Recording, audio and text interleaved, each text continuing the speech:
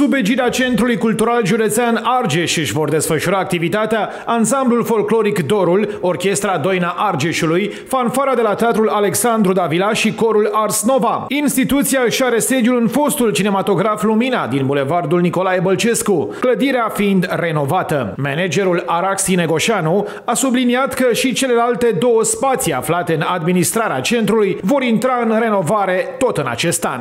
Am achiziționat deja serviciile de proiectare pentru cel de-al doilea spațiu pe care îl avem în administrare, mai exact grădina de vară, din uh, strada Victoriei numărul 18A.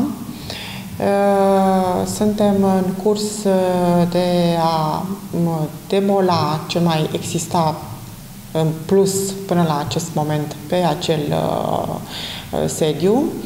Eh, după care cred că undeva în, la data de 15 iunie sper să achiziționăm eh, serviciile efective de execuție a lucrărilor.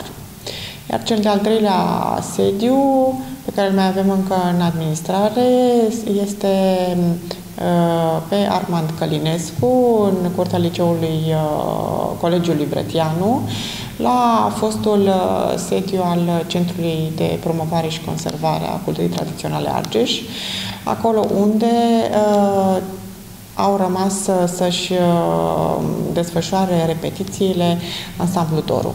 Până la organizarea concursului pentru funcția de director al Centrului Cultural Județean Argeș, Araxi Negoșanu va ocupa funcția de director interimar. Aceasta a lucrat mult timp ca jurist în cadrul Teatrului Alexandru Davila, instituție pe care a condus-o în ultimele luni până la ocuparea funcției de manager.